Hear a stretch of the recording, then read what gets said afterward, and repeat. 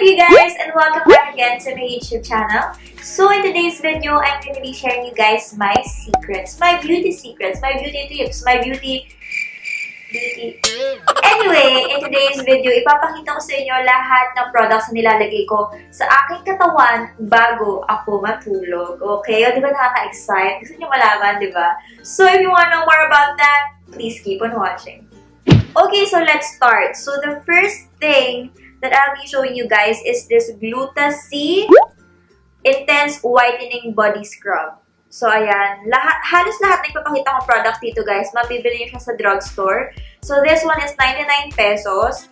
And, kahit nakalagay dito, intense whitening, ayoko po talaga magpaputi, okay? Gusto ko yung balat ko na morena. Gusto ko tan ako. Pero ginagamit ko to sa mga areas na hindi pantay ng aking balat. Like, ang aking armpits, ang aking um, singit, thighs, knees, elbows. So, doon ko siya ginagamit. And also, kasi kiniklaim niya dito na Ayan, meron siyang smoothening and softening effect, exfoliating dead and flaky skin. So, kasi yung skin type ko, super dry niya, lalo na kapag hindi ako nag-lotion. Kaya kung makikita niyo yung bag ko, kahit mapasok ako sa school, sobrang daming moisturizers and sobrang daming lotion. Kailangan ko talaga mag-moisturize kahit mainit, kahit malagkit kasi nagda-dry talaga siya and nag-flaky yung aking skin. Paubos na siya. So, super bango niya. And kapag nilagay mo siya sa skin mo, talagang ang lambot, parang baby skin after. So, ginagawa ko to everyday kasi nakalagay dito, um, use daily for best results. So, ayan. Ginagamit ko siya everyday morning, tapos, bago ako maligo, ay ba maligo, bago ako matulog sa gabi, naliligo kasi ako, so ginagamit ko rin siya. Sobrang nakakalambot siya ng skin. Sobrang lambot. Anyway, yan. Ito yung first step. Next is, doon naman tayo sa lotion na. Siyempre, yan, kapag after yung maligo, magpupunas ka, magpapatuyo ka ng skin, what I like to do is, hindi ko siya papatuyuin ng sobra-sobra. Mag-iiwan ako ng konting basa sa aking katawan para mas madaling i-glide yung lotion. So, I have a bunch of lotions here kung nakikita nyo lang to, ang dami. Ang dami kong lotions na ginagamit. So, iisa-isahin natin lahat ng mga lotion na to, okay? So, I will start off with the cheapest one. Yung aking go-to lotion. This is the Jergens Skin Lightening and Nourishing Lotion. Meron siyang dual UV protector. Ayan. So, ito, yung Jergens. Ito yung lotion na kahit saan pwede mong makita. Okay, meron ito sa Save More, Hypermarket, Watsons, basta sa department store, meron din ito. So, kapag bigla ang mga alis, overnight, I see to it talaga na bumibili ako ng kahit sobrang liit na lotion. So, ito yung kinuha ko, Jergens. Ang gusto ko dito, hindi siya malagkit sa katawan, hindi siya mabigat, hindi siya makapal. Kasi may mga lotion na parang sobrang lagkit and makapal. Ito, kapag nilagay mo kasi siya, parang siyang may halong tubig. Akala mo hindi siya e-effect. Pero pag nilagay mo to sa skin mo, girl, sobrang lambot and sobrang bango. So, I really like this one. Next is, na favorite ko din, na makikita nyo rin kahit saan, is this Nivea Extra White Serum Night Nourish Deep Whiten Essence. Ayan.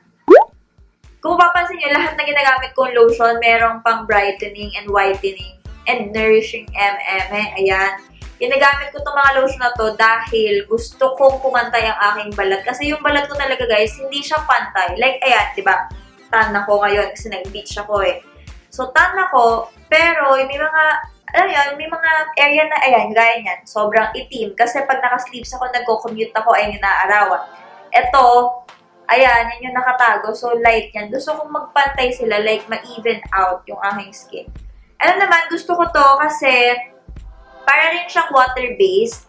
And, ano, mabango siya. Kaya gustong gusto ko talaga to. Silang dalawa, combo yan. Kapag wala si Jergens, si Nivea ang sasal. Okay, rebound, kumbaga. Ito ang rebound ko. Pero kapag meron tayong budget-budget, ayan na, ito na tayo talaga sa mga pangmalakas sa mga lotion. So, itong lotion na to, alam niyo naman guys, Cetaphil. So, itong Cetaphil na to guys, ang gusto ko dito is hypoallergenic. Pwede siya sa face, pwede na siya sa body. So, kapag ubus ng aking Bobbi Brown Vitamin C Enriched na cream for my face, I use this. Ayan. Sobrang lightweight. Totoo to. Lightweight and fragrance-free. Wala siyang amoy. Parang siyang water din. Mahilig talaga ako sa parang water-based. Ayan, ganyan siya. Medyo may kamahalan nga lang. Mga 500 ata to. Pero guys, sobrang sulit na to. As in, pag nagko-commute ako, pag pumapasok ako sa everyday, sa everyday, pag pumapasok ako everyday sa school, ito yung lotion na ginagamit ko. Kasi kahit mausukan ako, hindi siya kumakapit. I guess yun, hindi kumakapit yung mga dumi sa skin ko kasi hindi siya malagkit. Nagda-dry siya agad. Parang na-absorb siya agad ng balat.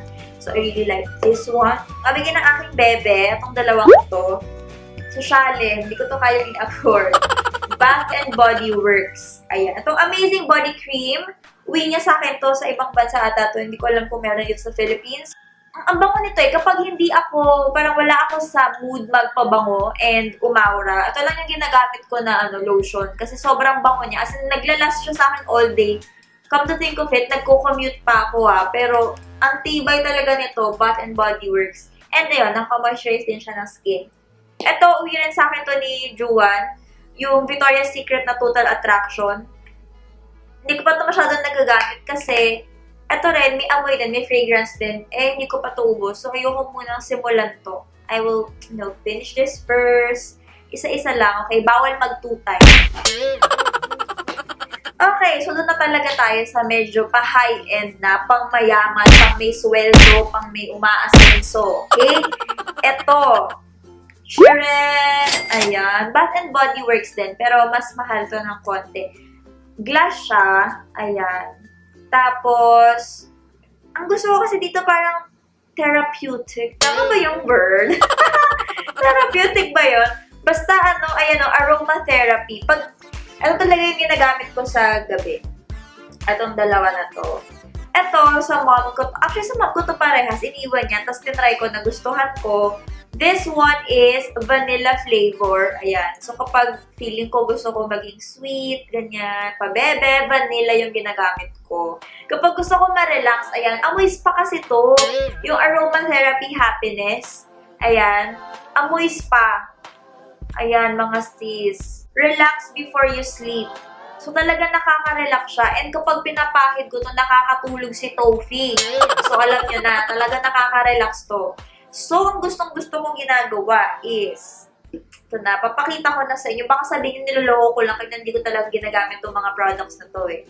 So, kukuha lang ako ng 3 pumps. Ayan. And then, I will get my Neutrogena body oil. So, eto. And then, lalagay ko siya dito. Tapos, eto na yung ipapahid ko sa aking skin.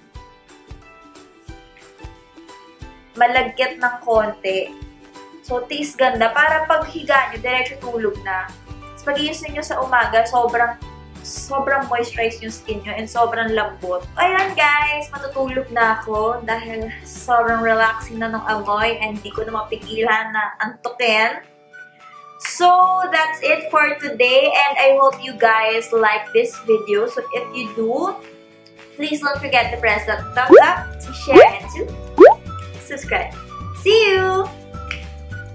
Oy, matulog na kayo. Gabing-gabi na, ha?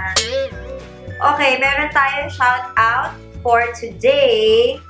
Julia Jimenez, um, Shireen Gregorio, and also MJ Morada. Hi guys!